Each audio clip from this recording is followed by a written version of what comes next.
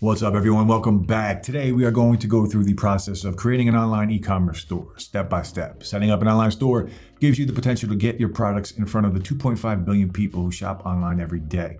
So, an online business can be very lucrative if done correctly, and there are a few e-commerce platforms that can make it easy to get started. Now, after watching this video and you decide to check out Shopify, click on the affiliate link in the description below to get a discount of $1 for the first three months, in addition to a free three-day trial. Also in the description, you'll find deals for Squarespace and Wix, which you won't find by going directly to their websites. So let's get into it. The first step is to figure out your niche, your target audience, and business model. The best way to do that is to find a gap in the market and then look for products that can help fit that niche. That'll also give you an idea of who you're selling to. Once you have that figured out, it's time to decide on a business model. Are you a retailer, a manufacturer, a complete marketplace, or maybe you're offering a subscription based service? Whatever you choose to be, the next step is to find your competition. Now, Looking at your competition can help you in a bunch of ways, but the most important information that research can give you is about the customer. It's important to focus on what the customer expects to see while also giving you insight on the aesthetic your business should have. All right, so once you figured out your foundation, it's time for step two, choosing an e-commerce platform. Of course, you may decide to get a web developer and have someone else do it for you, and that's cool. Make sure they're familiar with every e-commerce platform out there and willing to give you access to the site once it's set up. That way you can edit and update the website yourself and you don't need to continually rely on that developer forever. Now, if you decide to be hands-on and you don't want to have to rely on a web developer, you can build a website yourself. Either way, you'll need an e-commerce platform for your online store. If you have a retail-based business model, you may need a store that showcases products first. So you might be looking for something more functional like Shopify. With their 6,000 plus app integrations, you have a lot of options to customize how your shop looks and functions through Shopify Store Builder. But let's just say you're selling a lifestyle brand and courses rather than physical products. Then you might have a store page, but the store wouldn't be the main focus of your website. In that case, Squarespace or Wix may be a better option. This is why researching your competition is important, so you get an idea how your online store will look, and it can also give you an idea of how much backup space you'll need from the platform. When it comes to storage, there's a big difference between taking a full supermarket of products online versus only a few hundred products. So whether you go with Shopify, Squarespace, Wix, or some other e-commerce platform, they all should have an easy to use and intuitive drag and drop store and website templates. Some of them, like Shopify, can automatically optimize these templates for smartphones, meaning you don't even need a separate mobile website. And considering more than 70% of e-commerce traffic comes through mobile devices, it should be a given why having a dynamic store that responds to mobile devices is important for the success of your online business. Thankfully, today's e-commerce platforms offer a pretty great selection of templates to choose from. They even offer templates designed to fit different industries, but if you want a more custom look, you can always customize it more later. Now let's talk about step three, choosing a domain name and logo. Your domain name will later become your custom URL. So if it's a name you may want to change later on down the line, make sure you choose a platform that lets you do that.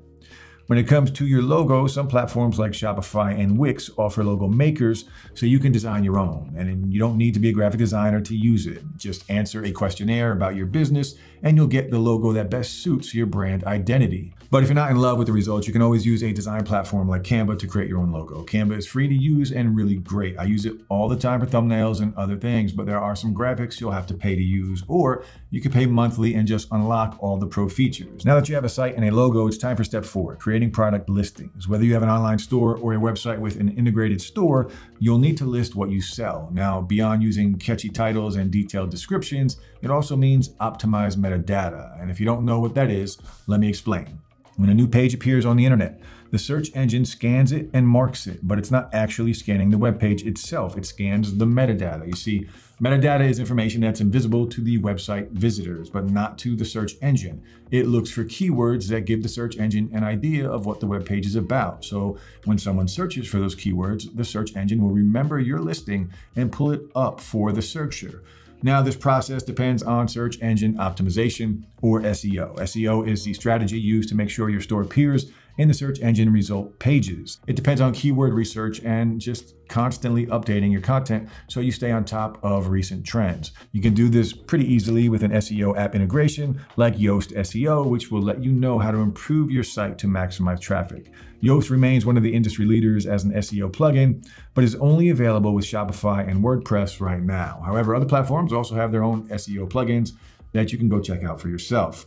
Now, once you have a website with products, you're ready for the final step, setting up your payment gateway. Of course, there are many options for this, and most e-commerce platforms do it pretty well with whatever one you choose. Some have their own payment options, like Shopify or Wix Payments. So if you go this route, you usually don't pay any transaction fees. But if you use a third-party payment gateway like PayPal, you may need to pay a certain percentage of your earnings as transaction fees. So it's important to double check their rate since it can change across the different platforms and plans. Now, when it comes to the checkout process, there are some questions you need to ask yourself, like, does your checkout page match the rest of your website? Does my site cater to international shoppers? Will shoppers be sent reminders if they get to checkout but don't complete the process? Is the entire process a smooth experience? While these are all important questions to be considering, Another thing to consider is if you can offer a physical point of sale or POS. While an online store means a digital POS is possible, you may also want to have a physical point of sale so your customers can pick up their purchases in person. Now, look, I get it. This may work for some businesses, but only some. Still, if it will work for your business, this will help more customers make it to checkout by offering them more ways to get your products. Once you're done with this, your online store is officially ready to go live. Now let's talk about customer support. The best thing you can do is get an AI chatbot that can reply instantly, whether it's midnight or noon. This will help free up more of your time, letting you focus on growing your business. One such chatbot is Miva AI. Now, beyond responding to customers, this service can help you get insights from the interactions with your customers, which gives you the ability to understand their shopping behavior, observe new trends, and make more informed decisions about your products and how you market them or just about your website. Another thing is that Miva doesn't just analyze questions, it crafts responses with up to 92% accuracy based on your brand and personality. And as your business grows, it will grow with you. And now I've actually tested Miva out for myself to see how well it performed compared to a human, and the results were pretty amazing. Now, just so you know, I am not sponsored by any e commerce platform, but I will say that Shopify in particular offers all the features we've covered today. Plus, you get fraud analysis and automatic tax calculation with every plan. And if you choose Shopify's advanced plan at $2.99 a month with annual payment, you also get advanced sales reports, up to 15 staff accounts, and carrier calculated shipping. This means you can give your customers real time delivery updates. Now, if you're a smaller business, you may not need all the bells and whistles. Instead, you can get all the base features for $29 a month for the basic plan, or the Grow plan for $79 a month gives you a greater discount on shipping and transaction fees than the basic plan gives you. Now, if your business has outgrown all of these options, you can go for the Plus plan for 2,300 a month. Side note, I want to mention the Plus plan is not eligible for the free trial period or the discounted first month. Well, that's it for today. I hope you found this video and info helpful. And if you did, hit that like button and subscribe to see more videos just like this.